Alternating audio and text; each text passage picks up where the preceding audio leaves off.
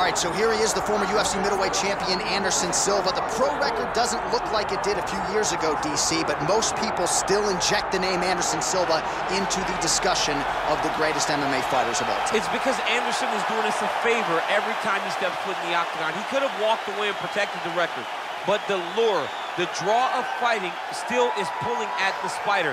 And every time he walks in there, we're getting to witness greatness. You feel it when Anderson Silva walks up the steps. I remember staring across the octagon and going, holy cow, that's Anderson Silva. And he has that approach. He has that appeal to everyone that gets in front of him, not only in the octagon, but in life. One of the nicest guys you've ever met is Anderson Silva. And a renewed focus on recovery and physical therapy has allowed the great Anderson Silva to compete deep into his 40s, DC. You ain't going to 45. I'm There's no way. 45. Ain't You're no out. chance. You're going to voice a video game. I'm going to voice a video game. What a great idea.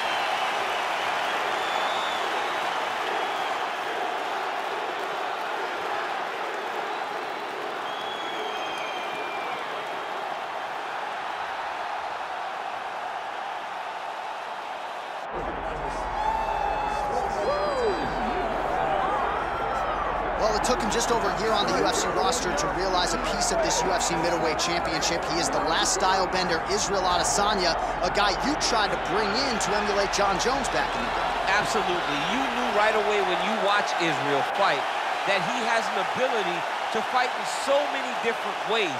If he's coming to play a part, he's going to play that part better than anyone else you can find. Yeah. It's because of the adaptability. It's his ability to change the way that he's fighting based on his opponent. In the Derek Brunson fight, he did a lot of kneeing because he knew Brunson was going to wrestle him. But in the fight against Kelvin Gastelum was a lot of punches and kicks because the wrestling threat was not so great. You gotta have that if you hope to compete and stay atop your division for a long time.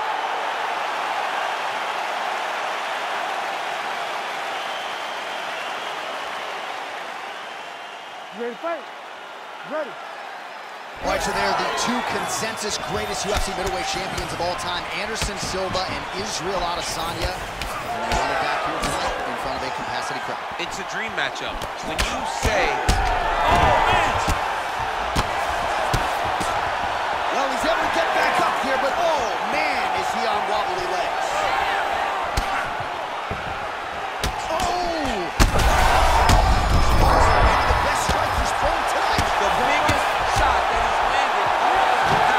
a massive uppercut leg.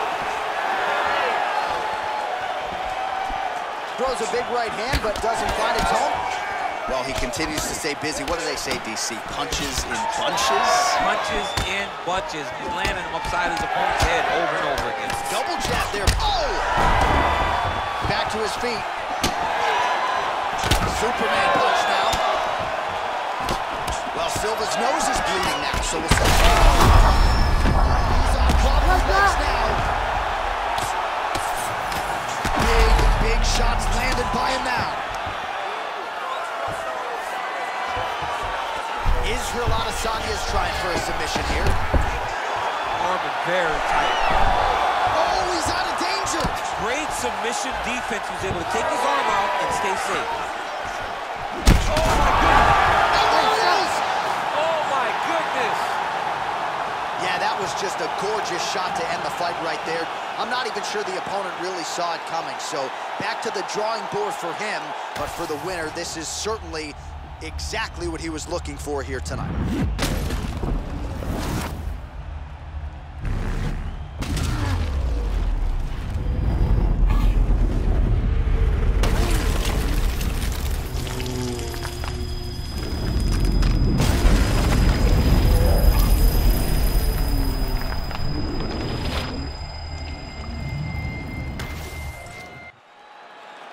Bruce Buffer now has the official decision. Ladies and gentlemen, referee Herb Dean has called a stop to this contest at 1 minute, 25 seconds of the very first round.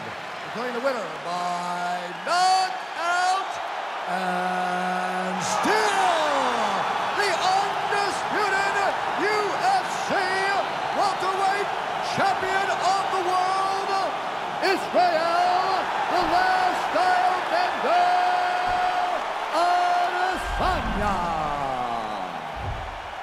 All right, so the clean knockout for Israel Adesanya tonight.